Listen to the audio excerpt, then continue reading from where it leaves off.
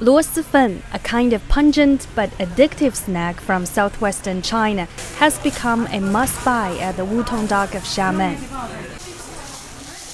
Most buyers are from Jinmen and Taiwan. They say the food is banned in the region because of the local authorities' overreaction to a company's advertising slogan, "You're my people." 这是是给台湾的准备是吗？对呀。哦，他们为什么会带这么多呀？一个人对。蔡英文就是没那个度量，啊，那长很很短。Such bittersweet exchanges would not happen if the direct sea links between Xiamen and Jinmen did not open. Before the opening of the line, people from Jinmen had to detour to Japan or Hong Kong to enter Xiamen. I'm here at Xiamen's Heping Dock. In 2001, the Taiwu ferry arrived here from Taiwan with more than 100 people on board, marking the opening of the first direct passenger service across the Taiwan Straits. 人们极目眺望，期盼着满载着金门乡亲的客轮出现在海面上。 The opening of the route took many years of officials from both sides. Everything was unprecedented and had political risks. If you speak from a historical point of view, the opening of the line took us 52 years. Zhang Baowei was one of the pioneers to open the line. With special approval from authorities, he always traveled directly between Xiamen and Jinmen for his work. The efficiency made him believe that he should help to broaden this convenience to ordinary people.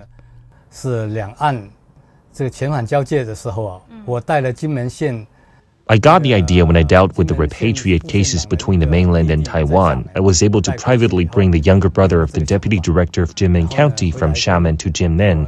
I then reported to my boss. I said we should boost the exchanges on the people to people level. 民间往来。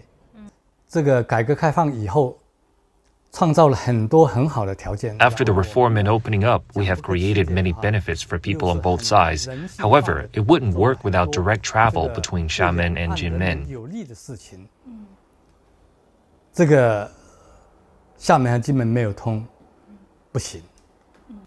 Though it was complicated, the idea was still pursued. Ma Jilie was involved in the negotiations with Taiwan authorities. 吴成典当时带来的签字笔签完， 就留证给我做纪念。这个啊、呃这个就是我说我保留起来了，我当时就这样放在我们局里面的信封里面，就这样。那么跟台湾这边谈这个东西，很快的 The negotiations with Taiwan were very politically sensitive. The certificates of cabin crews, what kind of flags do we use for the navigation, the registration of the ferries, all these should be crystal clear in the agreement. The opening of the direct passenger service is followed by other direct sea and air routes between Taiwan and the mainland. Cross-strait interaction has since become frequent. 金门之间的民间往来。因为我很热爱工作，我很 I 热 love 爱 my job. I love working on the affairs concerning Taiwan. Even when I was a soldier, I wanted to contribute to peaceful 我就 reunification.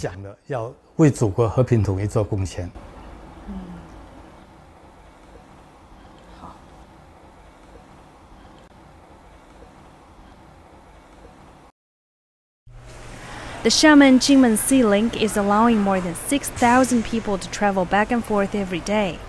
The fruit of the labor of the older generation is not only kept, but it's being reinforced.